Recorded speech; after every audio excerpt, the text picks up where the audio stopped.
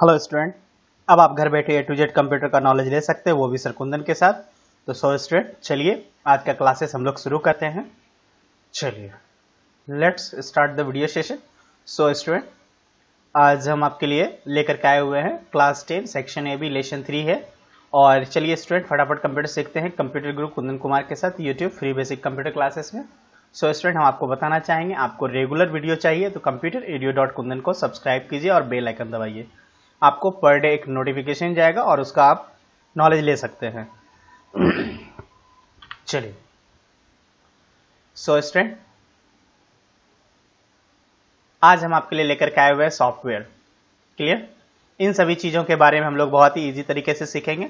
जैसा कि स्टूडेंट आप पढ़ चुके हैं कंप्यूटर हार्डवेयर के भौतिक अंग होते हैं। यानी हार्डवेयर कंप्यूटर के कैसे अंग होते हैं? भौतिक, यानी फ़िज़िकल सॉफ्टवेयर कंप्यूटर पर कार्य करने के पैकेज होते हैं। कौन कौन से पैकेज होते हैं? आइए जानते हैं। कंप्यूटर के प्रोग्राम या अनुप्रयोग रूप में प्रविष्टि सभी निर्देश सॉफ्टवेयर कहलाते हैं। सॉफ्टवेयर सूचनाओं का एक ऐसा समूह होता है, जिसके अनुसार कंप्यूटर कार्य करता है। कंप्यूटर विहीन कंप्यूटर के ऐसे हवाई जहाज़ के समान है, जिसका चालक ही ना हो। क्लियर कंप्यूटर पर किसी भी कार्य को करने के लिए उससे संबंधित सॉफ्टवेयर को कंप्यूटर पर संस्थापित करना पड़ता है, यानी इंस्टॉल करना पड़ता है। क्लियर हार्डवेयर को तो हम छू सकते हैं, पर सॉफ्टवेयर को छू नहीं सकते। क्लियर? और उसके बाद प्रक्रियाओं के आधार होते हैं, जैसे सॉफ्टवेयर जो है दो तरह के होते हैं, एक सिस्टम सॉफ्टवेयर और एप्लीकेशन सॉफ्टवेयर। यहाँ पे एक बार हम आपको फिर से बताना चाहेंगे, स्टूडेंट। हार्डवेयर, ठीक है? हार्डवेयर को तो हम छू सकते हैं, परंतु सॉफ्टवेयर को छू नहीं सकते। ये चीज़ आप अपने दिमाग में सेट रखिएगा। आइए हम लोग सिस्टम सॉफ्टवेयर के बारे में जानते हैं। यह हमें कंप्यूटर पर कार्य करने की अनुमति देता है। यह ऐसे सॉफ्टवेयर होते हैं जो कंप्यूटर पर अन्य यूटिलिटी प्रोग्राम के साथ कार्य करने की सुविधा प्रदान करता है। एक प्रकार से यह हार्डवेयर और एप्लीकेशन सॉफ्टवेयर के बीच का मध्यस्थ स्थापित करता है। M S word DOS M S है ना? डॉस उसके बाद विंडो यूनिक्स आदि सिस्टम सॉफ्टवेयर के उदाहरण है। सो so, स्टूडेंट आपको पता होगा कि अभी विंडो टेन हमारे लेटेस्ट ऑपरेटिंग सिस्टम है। उसके बाद ये है हमारे एप्लीकेशन सॉफ्टवेयर। जो ऑलरेडी कंप्यूटर्स में रहता नहीं है, उसको हम लोगों को कंप्यूटर्स में इंस्टॉल करना पड़ता है, जो हम लोग उसके थ्रू अपना कार्य कर पाते हैं। यह ऐसे विशिष्ट कार्य करते हैं, जिन्हें कंप्यूटर के प्रयोग का अंतिम परिणाम माना जा सकता है। एप्लीकेशन सॉफ्टवेयर की अभिरचना, विशिष्ट कार्यों के निशापादन के लिए ही की गई है। वर्ड प्रोसेसिंग जैसे है डाटाबेस मैनेजमेंट है, उसके बाद फाइनेंशियल अकाउंटिंग है, आदि अनेक कार्यों के लिए सॉफ्टवेयर का प्रयोग किया जाता है। दूसरे शब्दों में यह कह सकते हैं कि सिस्टम सॉफ्टवेयर कंप्यूटर के लिए हवाई जहाज़ में प्रयुक्त ईंधन की तरह कार्य करता है और एप्लीकेशन सॉफ्टवेयर जहाज़ के पायलट की तरह। क्लियर समझ में तो आ गई होगी स्टूडेंट आपको? उपरोक्त दो प्रकार के सॉफ्टवेयर के अतिरिक्त ये सॉफ्टवेयर भी होते हैं, जैसे हमारे एक नेटवर्किंग सॉफ्टवेयर और एक लैंग्वेज सॉफ्टवेयर तो नेटवर्किंग क्या होता है? यह कंप्यूटर को आपस में जोड़ने की मदद करता है और यह सॉफ्टवेयर प्रोग्राम को प्रोग्राम लिखने की मदद करता है। सॉफ्टवेयर अब यह है सिस्टम सॉफ्टवेयर इसके बारे में थोड़ा सा स्टूडेंट आप लोग ये हम आपको बताना चाहेंगे कि ये वीडियो बहुत ही आप लोगों के लिए कारगर होगा और ये लास्ट वीडियो तक देख के जाइएगा, आपको बिल्कुल मज़ा आएगा और कुछ सीखेंगे भी आप। सिस्टम सॉफ्टवेयर कंप्यूटर के को कंट्रोल करता है। सिस्टम सॉफ्टवेयर ना हो तो कंप्यूटर बेकार है हमारे माध्यम से। इसलिए कंप्यूटर्स में सिस्टम सॉफ्टवेयर का होना बहुत ही ज़रूरी है। इनके तीन मुख्य कार्य होते हैं। ये सिस्टम से संबंधित स्रोतों जैसे मेमोरी पेरीफेरल उपकरण मॉनिटर आदि के साथ कार्य करने की सुविधा देता है। दूसरा है पॉइंट, भंडारण उपकरणों जैसे floppy disk, hard disk, compact disk आदि के साथ समन्वय बनाते हैं। हार्डवेयर की त्रुटियाँ को सुधारते हैं और डाटा खो जाने की स्थिति में उसे ठीक भी करते हैं। क्लियर? ये तीनों पॉइंट है, इसको आप अपने कॉपी में नोट करेंगे और याद करेंगे। Clear student? आइए, पीसी कंप्यूटर के अधिकतर यूनिक्स मेनीटॉक्स एमएस डॉस विंडो आदि सिस्टम सॉफ्टवेयर के प्रयोग किए जाते हैं। और ये है यूटिलिटी प्रोग्राम। यूटिलिटी प्रोग्राम एक लघु प्रोग्राम या अनेक लघु प्रोग्रामों के समूह को कहते हैं, जो अतिरिक्त सेवाओं द्वारा ऑपरेटिंग सिस्टम की मदद करता है। ये प्रोग्राम एक संशोधन एडिटर डिविगर की तरह कार्य करता है, जैसे पीसी टूल्स और नॉट एन यूटिलिटीज और सैमन टेक्नोलॉजी व सेंट्रल पॉइंटर सॉफ्टवेयर, यानी सेंटर पॉइंट सॉफ्टवेयर आदि सभी एंटीवायरस प्रोग्राम जो हमारे होते हैं छोटे छोटे जो हमारे प्रोग्राम कंप्यूटर्स के लिए बहुत ही उपयोगी होते हैं, उसको हम लोग यूटिलिटी प्रोग्राम करते हैं या लघु प्रोग्राम करते हैं। क्लियर स्टूडेंट उसके बाद ये एप्लीकेशन जो आप देख रहे हैं स्टूडेंट ये वर्ड एक्सेल पावर पॉइंट ये दुनिया का नंबर वन सॉफ्टवेयर है। ऐसी कोई कंप्यूटर नहीं है जिसमें ये सॉफ्टवेयर लोड ना हो। ये आप सौ स्टूडेंट वर्ड एक्सेल और पावर पॉइंट सीख लेंगे तो आपको एक official government data entry operator का वर्क आपको मिल जाएगा। क्लियर हम आपको अपने स्तर से बता दिए। आइए अब जानते हैं कुछ सॉफ्टवेयर प्रोग्राम कंप्यूटर चालक की मदद करने के लिए बनाए जाते हैं। ये ऐसे विशेष कार्य करते हैं जिन्हें कंप्यूटर के प्रयोग का अंतिम परिणाम माना जा सकता है। एप्लीकेशन सॉफ्टवेयर की अभिसंरचना विशिष्ट कार्यों के निष्पाद के लिए की गई है। वैज्ञानिक अभिलेखन, यानी साइंटिफिक रिसर्च लेखा जोखा वर्ड प्रोसेसिंग यानी वर्ड प्रोसेसिंग तथा डेस्कटॉप प्रकाशन, यानी डेस्कटॉप पब्लिशिंग आदि अनेक एप्लीकेशन सॉफ्टवेयर सिस्टम सॉफ्टवेयर यूजिटी प्रोग्राम सॉफ्टवेयर अन्य सहायक अनुप्रयोगों की सेवा का प्रयोग करते हैं। कुछ प्रचलित एप्लीकेशन सॉफ्टवेयर भी है, जैसे वर्ड प्रोसेसर और डाटाबेस मैनेजमेंट वेब ब्राउज़र एवं इमेज एडिटर, ये सब सारे सॉफ्टवेयर बहुत ही फ़ेमस है स्टूडेंट और ये है डाटाबेस सॉफ्टवेयर जो ये तो इसका तो कमाल ही नहीं है तो गजब का चीज़ है, जितने भी सारे आपके ऑफिशियल वर्क होते हैं डाटाबेस सॉफ्टवेयर पे ही काम होता है। तो इस सॉफ्टवेयर की मदद से कंप्यूटर में बहुत सारा डाटा व्यवस्थित रूप से संकलित किया जाता है, यानी स्टोर की जाती है, या डाटा टेक्स्ट चित्र, आंकड़ों, या अन्य किसी भी रूप का हो सकता है। आज डाटाबेस सॉफ्टवेयर बहुत ही प्रसिद्ध हो चुके हैं। अनेक क्षेत्रों में उनका उपयोग होता है। सरकारी क्षेत्र, औद्योगिक, है ना? सैन्य बल आदि अनेक क्षेत्रों के डाटाबेस कंप्यूटर की मदद के गोपनीय रूप को संचित किए जा सकते हैं। बहुत से सरकारी गैर सरकारी आंकड़े भी डाटाबेस की मदद से जाना जाता है, तक आसानी से पहुँच जाते हैं। पहला डाटाबेस सिस्टम जो है, सबसे पहले आईबीएम ने बनाई, कंप्यूटरों के लिए विकसित किया था। डाटाबेस भी एक प्रोसेसिंग यानी प्रोग्रामिंग भाषा ही है। अतः इनकी फाइलों को सब जगह स्वीकृत किया कर लिया जाता है। डाटाबेस का एक अच्छा उदाहरण है है ना? कंप्यूटराइज रेलवे इक्वायरी है ना? कंप्यूटराइज रेलवे इंक्वायरी जहाँ आप टेलीफोन पर ही रेलों के आवागमन आरक्षण की ताज़ा स्थिति जान सकते हैं, क्योंकि उसका जो रिकॉर्ड है, उसको कंप्यूटर में फ़ीड कर दी जाती है यानी स्टोर कर दी जाती है। और ये है वर्ड प्रोसेसिंग सॉफ्टवेयर आइए जानते हैं। वर्ड प्रोसेसिंग सॉफ्टवेयर एक ऐसा सॉफ्टवेयर है जो टेक्स्ट दस्तावेज़ का निर्माण, संपादन, मुद्रण आदि करता है। यह सॉफ्टवेयर कागज़, कलम टाइपराइटर पेंसिल रबड़ यहाँ तक कि शब्दकोश का भी विकल्प यह सॉफ्टवेयर का न केवल टाइपिंग के लंबे थका देने वाले कार्य को भी कम कर देता है। आज देख रहे हैं कोई भी तरह के डॉक्यूमेंटेशन है प्रिंट करना हो तो वर्ड है पावर पॉइंट है सो स्टूडेंट आप देख रहे हैं पेज मेकर है और ये दोनों फ़ेमस है फ़ेमस पूरा फ़ेमस है। सो स्टूडेंट ये दोनों सॉफ्टवेयर भी आप लोगों को बहुत ज़रूरी सीख लेना है। सो so, ऐसे सब सॉफ्टवेयर सीखने के लिए सो स्टूडेंट हम आपको बताना चाहेंगे कि ये सब सारे सॉफ्टवेयर्स भी वर्ड का सॉफ्टवेयर हमारा ऑलरेडी वीडियो बन चुका है। पेज मेकर आने वाले समय में वीडियो बनेगा। आपको अच्छे अच्छे वीडियो चाहिए सो स्टूडेंट हमारे चैनल को सब्सक्राइब कीजिए लाइक कीजिए और बेल आइकन ज़रूर दबाइए स्टूडेंट हम आपको बोलेंगे बेल आइकन दबा दीजिए सब्सक्राइब करके।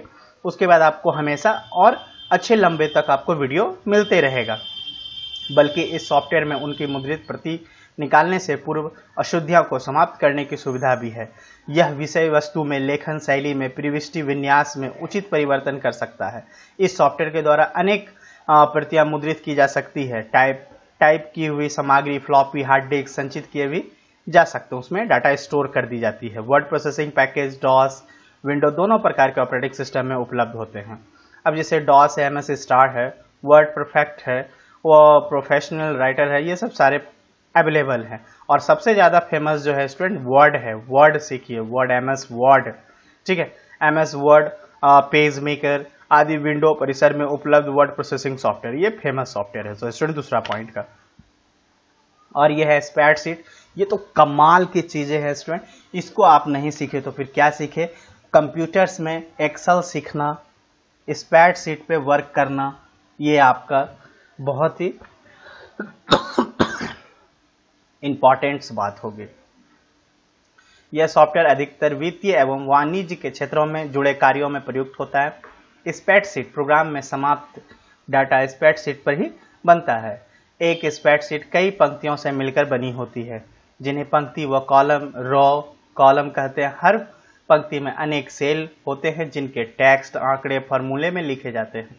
इन सेलों में गणना भी कर सकते हैं। इस स्प्रेडशीट में पैंसठ पंक्तियाँ और दो सौ छप्पन। अभी सो स्टूडेंट, आप, जैसे 2016 में आप करेंगे तो दस लाख अड़तालीस हज़ार पाँच सौ छिहत्तर जो है रो और सोलह हज़ार तीन सौ चौरासी कॉलम हो गए हैं लेटेस्ट ऑपरेटिंग सिस्टम में। Clear student? ये 2003 का है। तो ऊपर से नीचे तक सभी पंक्तियों में संख्या वन, टू, थ्री पंक्तियाँ, column A B C to Z तक होती है। यहाँ जहाँ तक की पंक्तियाँ व कॉलम मिलते हैं, उसे एक सेल कहते हैं, जैसे सामने के चित्र में दिखाए गए सेल को हम कहेंगे कि ए वन सेल, प्रत्येक सेल में लिखे गए आंकड़ों या की गई गणनाएँ दूसरे सेल के आंकड़ों को पूर्णतः अलग करते हैं। M S Excel spreadsheet software का उत्तम उदाहरण है। सो स्टूडेंट, थोड़ा सा खांसी है, इसलिए सॉरी। इंटरनेट सॉफ्टवेयर है ये, इसके बारे में जानिए। आज दुनिया में लाखों लोग इंटरनेट के द्वारा सूचनाएँ और विचारों को आदान प्रदान करते हैं।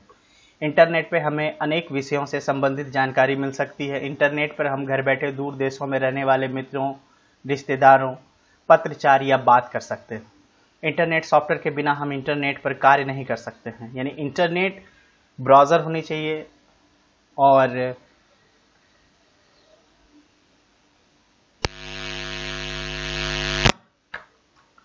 नवीन कंप्यूटर में इंटरनेट सॉफ्टवेयर, सिस्टम सॉफ्टवेयर के साथ ही जोड़े जाते हैं।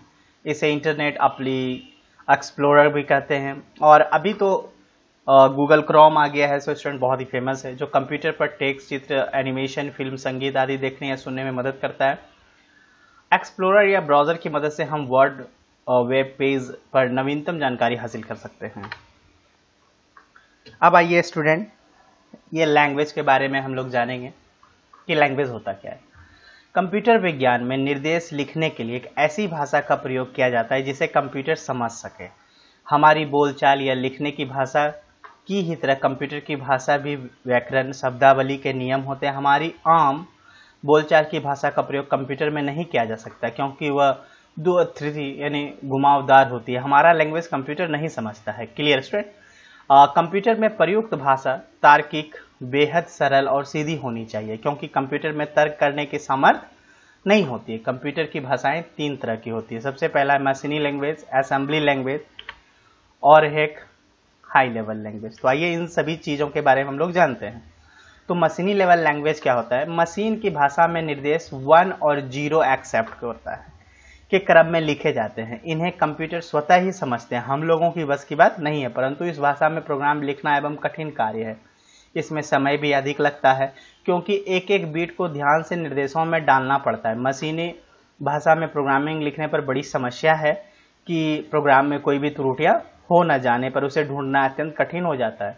इन सभी असुविधाओं के कारण सन 1952 में अमेरिकी गणितज्ञ, ये याद रखिएगा, गणितज्ञ, अमेरिकी गणितज्ञ ग्रेश मूरे हॉपर ने असेंबली भाषा का विकसित कर दिया।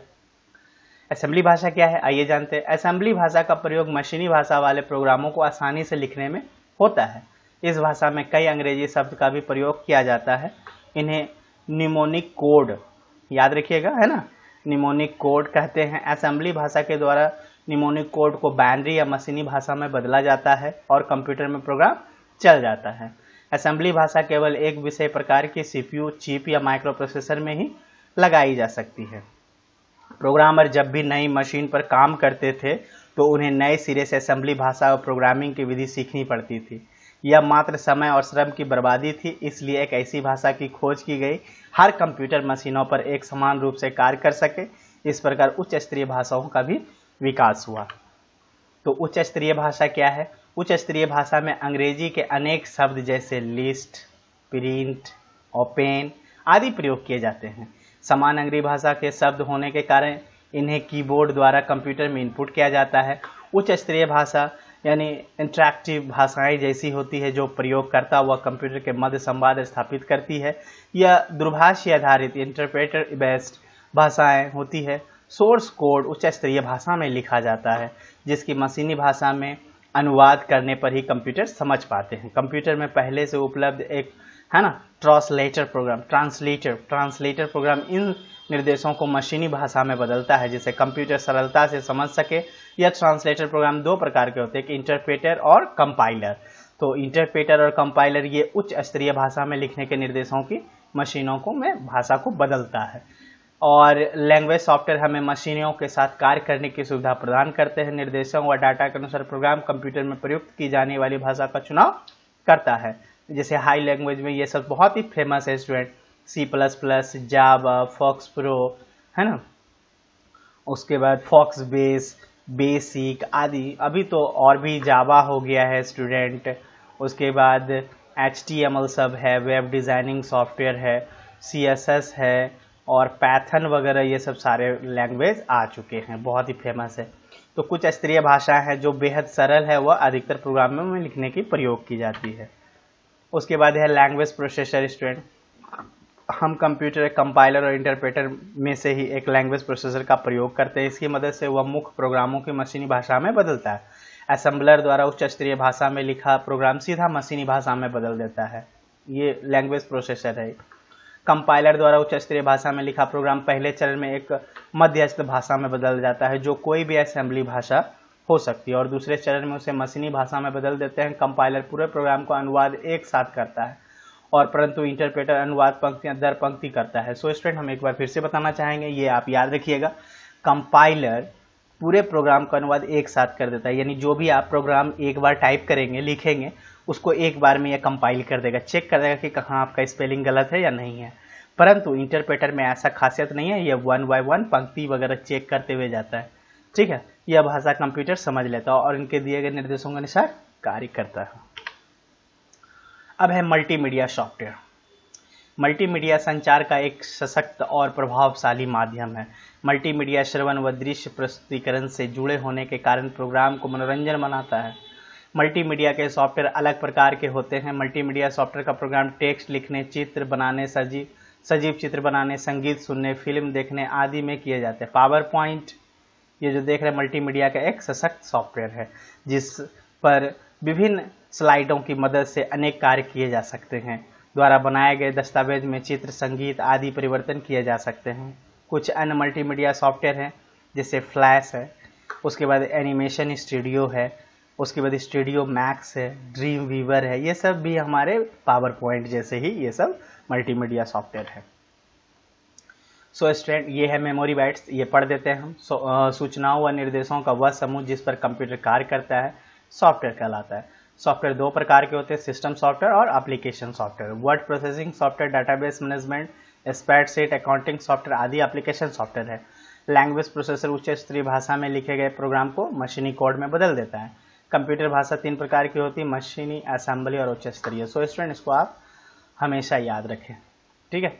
और ये जो आप देख रहे हैं क्वेश्चन आंसर सो स्टूडेंट हम आपसे गुजारिश करेंगे कि आप इसको बनाइए और हमारे व्हाट्सअप नंबर पे सेंड कीजिए। ये हमारा व्हाट्सअप नंबर सेंड हो रहा है, देख रहा है फ्लैश कर रहा है six two double zero three nine zero seven nine three so student इसमें टिप्पणी भी लिखना है match fill in the blank से वो भी पढ़ना है और मैचिंग भी है।